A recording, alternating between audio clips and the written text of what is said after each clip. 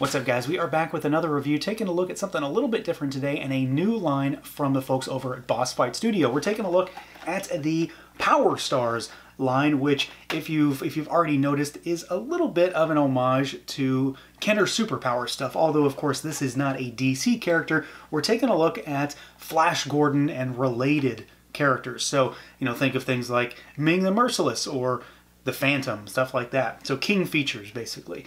Now, these are the first wave, and we've got four figures to talk about here. So we've got uh, the man himself, we've got Flash Gordon, we've got uh, Prince Thun,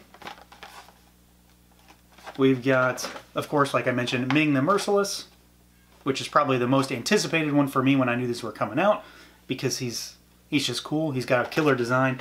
And as I mentioned, it's not just Flash Gordon. Uh, we do have the Phantom himself. Now, like I mentioned, these are very much in like a Kenner Superpowers kind of style, uh, kind of aesthetic, an homage in some ways. And of course, a lot of that comes through with the with the card art and just the styling of things. So the figures do come on a, on a classic, you know, card back style of packaging. So figure in the bubble, you've got the Power Stars logo, you've got that sort of diagonal burst across the front with the character's name and then an action shot of the figure or the character rather. And then the back gives us more of those logos for the figure, for the Power Stars line, the action shot, a bio for that specific character, as well as a cross sell for the rest of Wave 1. So let's do it. Let's pull these guys out and take a look.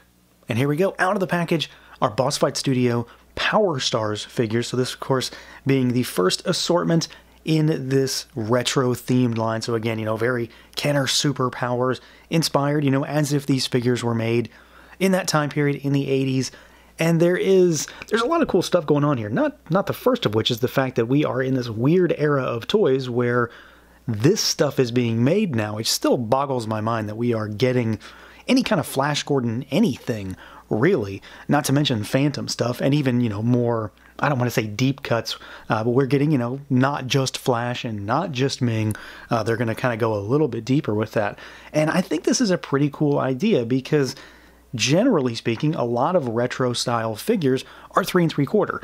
This is not that. They are they're a little bit different. They're still very retro, and they're a certain kind of retro. So in that vein, let's see what these guys can do, see how they move around. Now, they're basically all the same. So, as far as moving these guys around, you know, it's a retro style figure again. So, the name of the game, at least as far as I'm concerned, is form over function. They have minimal articulation. I think that's to be expected. So we've got a head that is on a ball. It can look up slightly. Looks down really nice though. Tilt side to side, you know, a little attitude on him. Full rotation there. Arms swivel at the shoulders. The legs kick forward and backward. And then you've got a knee with about 90 degree bend and some swivel there.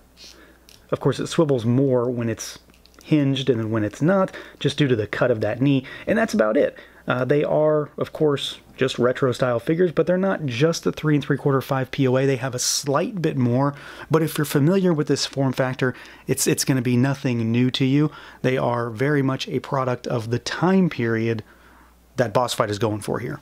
Of course, like I mentioned, you know, the name of the game is the style, the form, the overall look and feel of these figures is far more important to me than the fact that they can swivel their arms and they can bend their knees that's fine, that's great, but it's all about the look and kind of, you know, reimagining these characters in this era of action figure.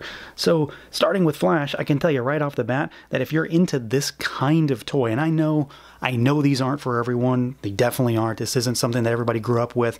This isn't something that everybody has nostalgia for but they're pretty solid figures, and I think they all look pretty great. Uh, they all have a decent amount of paint on them, and just overall, the sculpt is really, I don't know, evocative of, of that era in many ways. I think Flash looks tremendous.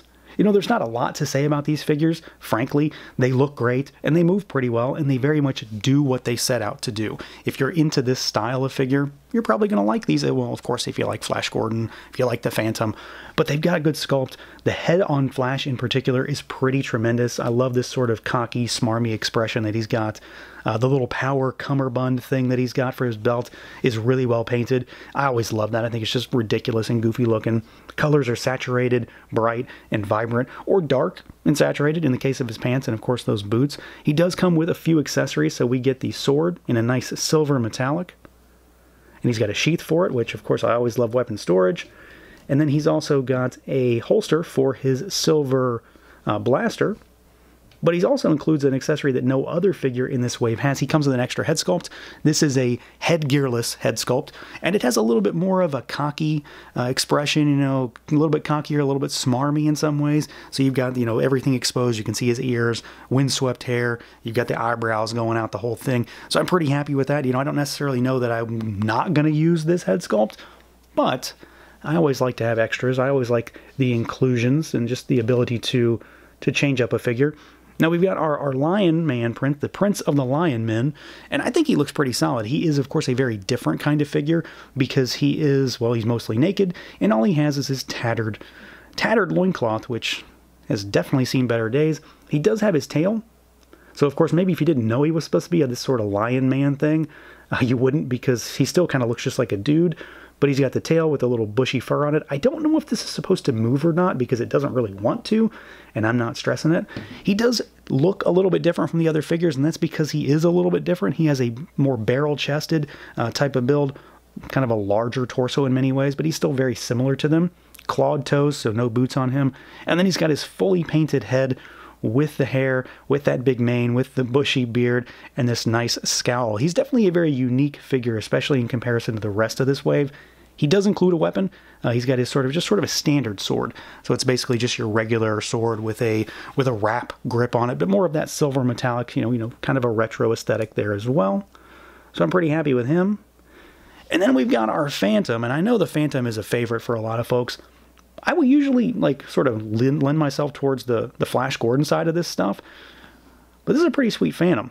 The purple on him is super rich, is the word I want to say, and I do love a Phantom that has the goofy blue and black trunks because, well, frankly, I don't get it, and I think it's ridiculous and it's weird, but but I like seeing it on a figure. He's got his skull belt buckle. He's got his two pistols. They're done up in the silver metallic also, and his hands do have the rings on them so if you don't want to use the guns, you can go ring style. And then we've got this really, really stoic head sculpt, which obviously makes perfect sense for this guy. So you've got the fully encapsulated head with the, you know, the purple headgear on there, black mask with the white eyes, and just this sort of no-nonsense expression on him. And I think he looks pretty fantastic. He's he's kind of basic in that regard. And I'm not saying basic in a in a negative way. He's just sort of not as gaudy as Flash, I suppose. But with without any surprise really. The star of this this wave, the show, the whole deal is is and was always going to be Ming, because frankly, if you can't do Ming, the whole wave is going to fall apart for me.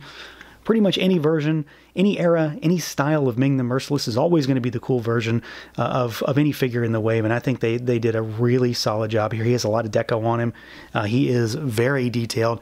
He includes a soft goods cape, which I'm always happy with. You know, this is a very retro style cape. It just sort of cinches around the neck so it doesn't actually like peg on or get clasped on or anything. It just sort of cinches around the neck with a little, uh, like a clip almost is the best way for me to say it. But it looks really good and it does hold in place really well. But you can also take it off if you want. Uh, he does have really nice deco hits though. The gold metallic sort of foil look on his torso looks really great. Shines well under under pretty good lighting. So you can see it sort of just glisten there. His power cummerbund looks great. That green is super striking, especially in contrast to the red and he has a red sheath and a red holster for his accessories, which we'll talk about in a second.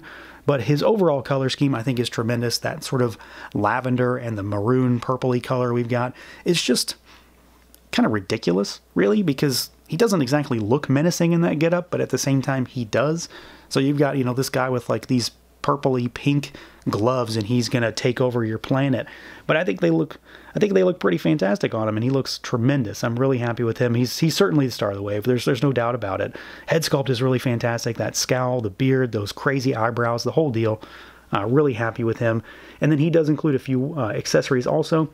So he's got the the gold gun in comparison to Flash's silver, and then he has a gold sort of cutlassy style sword, and this is all very metallic also. So visually, I mean, I think they nailed the style. I think I think they did a really solid job with these, and ultimately, they lend themselves very very well to this era of retro style figure. So yeah, overall, you know, again, overall, I think I think Boss Fight really nailed these, and like I said, this is not going to be a thing for everybody, obviously. You know, not everybody grew up with, with this kind of figure. Not everybody has nostalgia for this kind of figure. And retro figures aren't always for everybody either in general. But if you like Flash Gordon stuff, if you like the Phantom, and you're into this era of toy, well, this might be right up your alley because they did a really solid job here. They move well. I mean, again, they're minimally articulated, but they move well for what they have. They look fantastic, though. I'm really happy with that. Paint is all very clean, all very crisp.